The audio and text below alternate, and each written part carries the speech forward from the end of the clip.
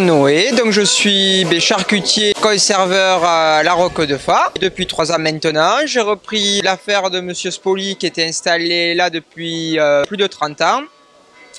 Et donc euh, j'ai continué à faire eh bien, les produits euh, qu'il faisait, donc toute la gamme euh, de conserves, pâtés, euh, jambonneaux, cassoulet, plats cuisine et autres. Euh, La charcuterie euh, fraîche, euh, saucisses, merguez, euh, saucissons, boudin, euh, enfin, tous les classiques qu'on peut trouver en charcuterie. Alors nos produits, ben, c'est euh, du porc euh, de la cône et, de la montagne noire. Euh, ben, pour la foire à Moutoumet, comme chaque année, ben, on tient notre stand euh, où on présente nos produits et on fait également ben, griller ce que l'on fait, donc euh, avec les petits sandwichs à midi.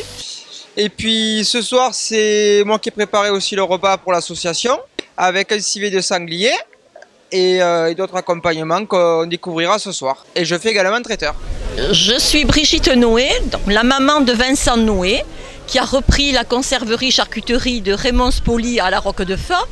Et en tant que maman, ben, je peux dire que je suis fière que mon fils ait repris cette activité, qu'il soit resté au pays.